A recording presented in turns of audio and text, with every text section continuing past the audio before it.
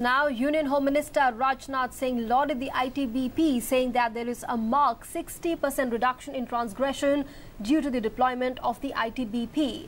The minister was speaking at the 55th Raising Day Parade of the Indo-Tibetan Border Police at Greater Noida.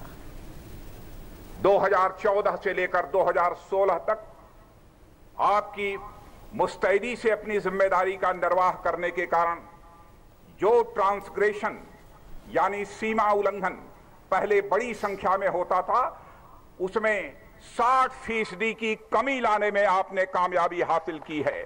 इसलिए मैं फिर से आप सबको अपनी तरफ़ से बधाई देना चाहता हूँ। The minister hit out at Pakistan for using terror for proxy wars with India. हमारे एक पड़ोसी देश उसके बारे में कुछ कहना नहीं है।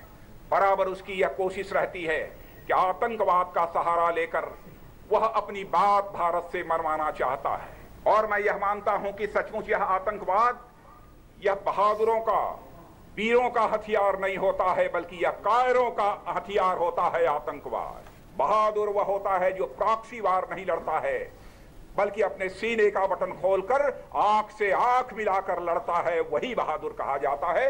नहीं तो छिपे रुस्तम लड़ाई लड़ने वाले यह कायर होते हैं। Union Home Minister Rajnath Singh reviewed the ceremonial 55th Raising Day Parade of the ITBP. This force has completed 54 years of dedicated service to the nation on 24th October 2016. The force was raised on 24th October 1962.